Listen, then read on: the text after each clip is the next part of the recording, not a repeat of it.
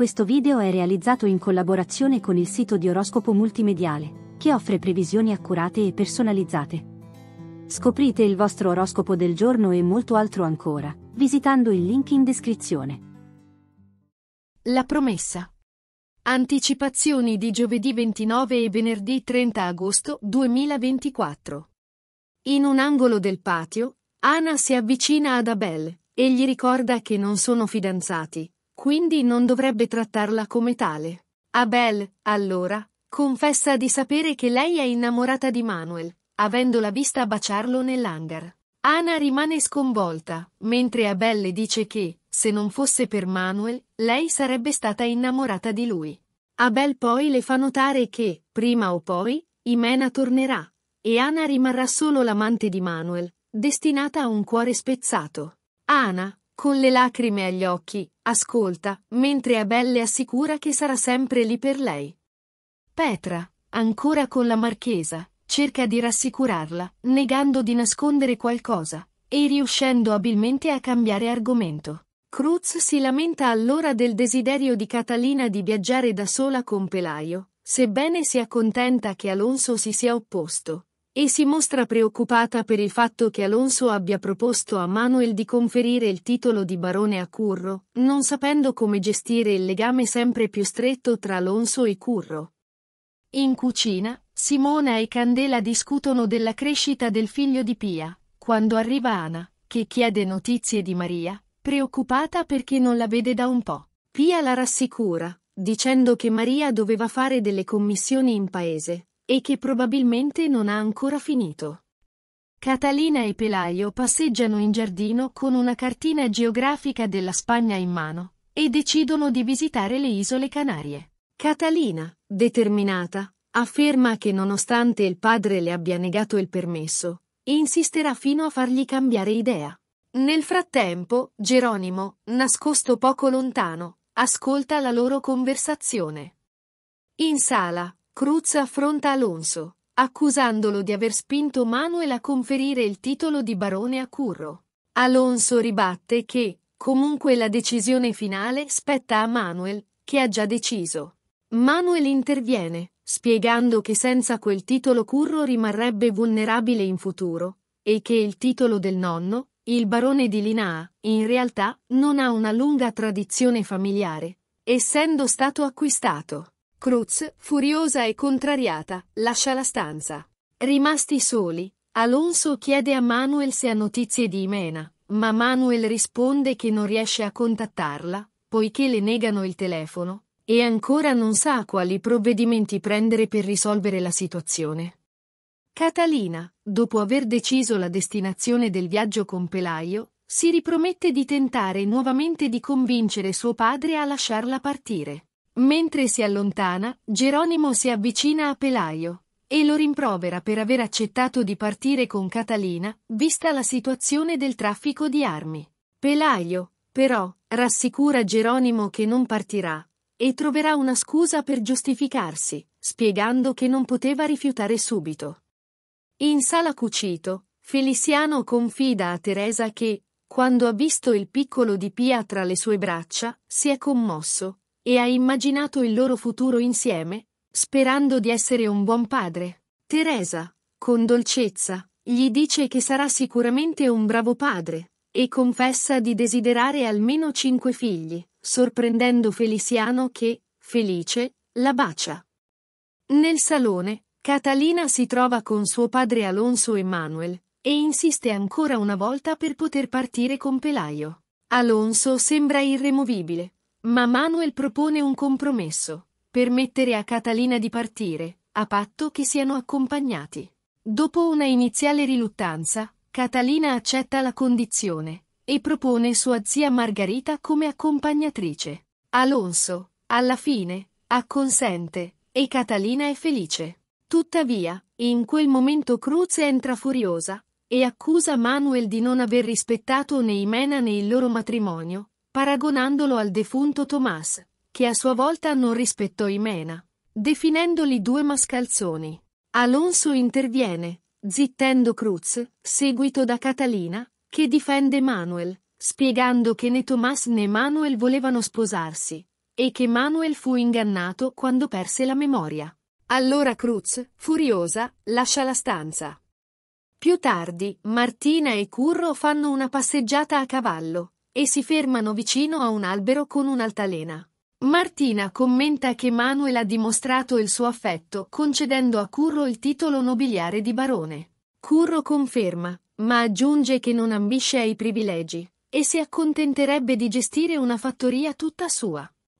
Pelaio confessa a Catalina di aver cambiato idea e di ritenere che non sia il momento giusto per il viaggio. È preoccupato per la sua salute, dato il recente pericolo, e non vuole che l'onore di Catalina venga messo in discussione. Catalina risponde di aver già raggiunto un accordo con suo padre, includendo Margherita nel viaggio, ma Pelaio insiste per rimandarlo. Catalina, seppur delusa, accetta.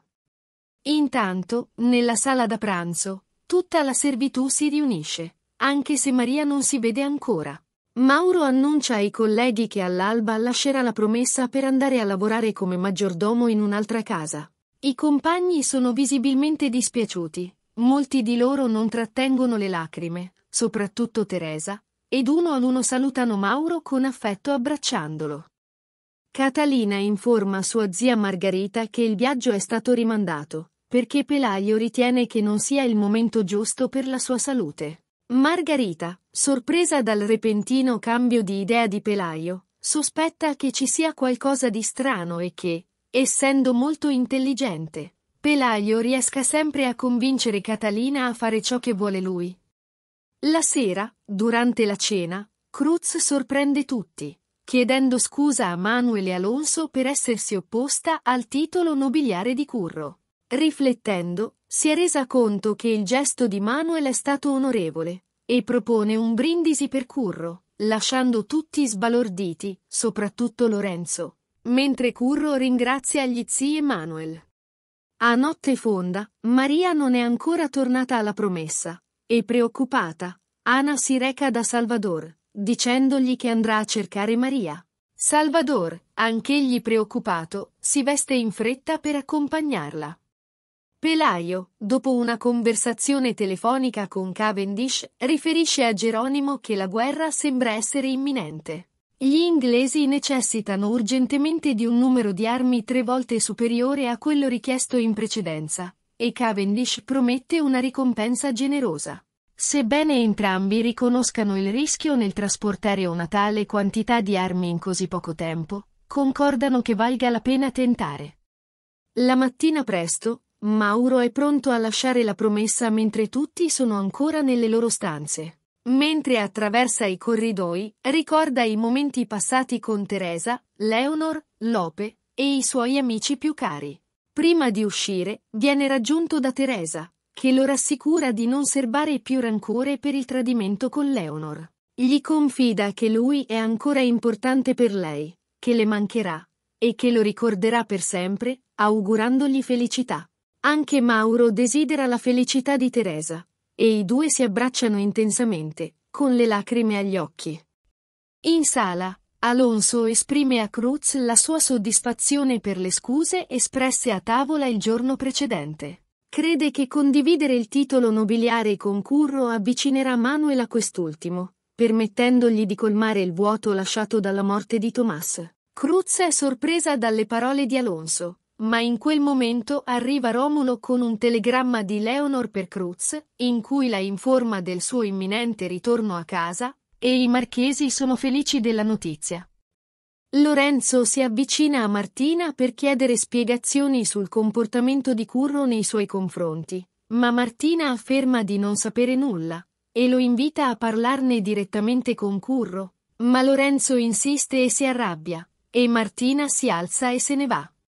La marchesa convoca Pia per informarla che Leonor sta tornando alla promessa e le chiede di prepararle una stanza, dato che la sua è stata bruciata da Imena. Pia promette di fare il possibile per accontentare Leonor. La marchesa, poi, le chiede bruscamente se Feliciano sia il figlio di Petra, ma Pia risponde di non saperne nulla e di aver sempre creduto che fosse solo il fratello di Petra. Tuttavia, Cruz non sembra credere a questa versione In cucina, mentre Lope racconta di cosa preparavano per colazione al ristorante di Madrid, Ana e Salvador entrano sconvolti per annunciare che Maria è scomparsa. Ana ha trovato uno scialle di Maria macchiato di sangue tra i cespugli, preoccupando tutti. Allora Simona propone di avvisare subito Romulo. Pia, ancora con la marchesa, continua a negare di sapere qualcosa su Petra e Feliciano, ma Cruz rimane scettica. Più tardi, nei corridoi del servizio, Pia incontra Petra e le riferisce della domanda della marchesa. Petra reagisce con insulti, senza sapere come Pia abbia risposto. Pia la zittisce, dicendole di aver mentito per proteggerla, e che dovrebbe essere Petra stessa a parlare con la marchesa. Catalina e Pelaio fanno un picnic insieme, e Catalina gli chiede se desiderava fare quel viaggio con lei.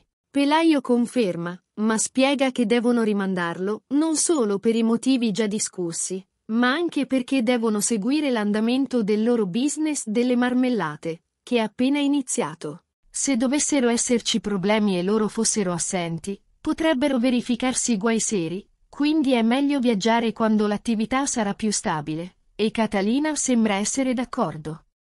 Abel cura la mano infortunata di Feliciano, il quale però non ricorda come si sia fatto male. Mentre Cruz si prepara nella sua stanza, Petra le riferisce che Maria è scomparsa, che Anna e Salvador sono usciti a cercarla e hanno trovato il suo scialle macchiato di sangue. Tuttavia, la marchesa, con la sua consueta freddezza, non sembra affatto preoccupata per Maria, ma piuttosto irritata all'idea che il sergente Funes potrebbe dover tornare a indagare alla promessa. Nel frattempo, Romulo convoca Lope, Feliciano e Salvador per discutere la riassegnazione dei compiti, dato che Mauro se n'è andato. Feliciano verrà incaricato di occuparsi di Curro e Lorenzo, mentre Salvador prenderà in carico Manuel. Inoltre, Salvador verrà messo alla prova per ricoprire il ruolo di primo cameriere, un compito precedentemente svolto da Mauro. Tuttavia, Salvador non è entusiasta della notizia, spiegando di essere troppo preoccupato per la scomparsa di Maria per riuscire a concentrarsi, ma Romolo lo rassicura, dicendogli che Maria tornerà presto. Nel suo studio, Manuel informa Curro che l'avvocato sta già lavorando sulle pratiche per far ottenere a Curro il titolo nobiliare di barone. Curro chiede a Manuel se ne sia certo, e Manuel gli assicura che è convinto che quel titolo spetti proprio a lui. Tuttavia, Curro si domanda come mai sua zia Cruz abbia improvvisamente cambiato idea su questa questione. In quel momento, una cameriera passa accanto a loro, e Manuel la scambia per Ana. Dice a Curro di non averla vista per tutto il giorno, e lo informa che forse Ana è preoccupata per Maria, che non è ancora tornata dopo essere uscita per delle commissioni in paese, e questo lascia Curro visibilmente inquieto. Terminano così queste anticipazioni. Io sono Daisy, e se volete, vi invito a iscrivervi al mio canale, per non perdervi i prossimi video. Un abbraccio, e ci sentiamo nei commenti, con i vostri pareri sulla puntata.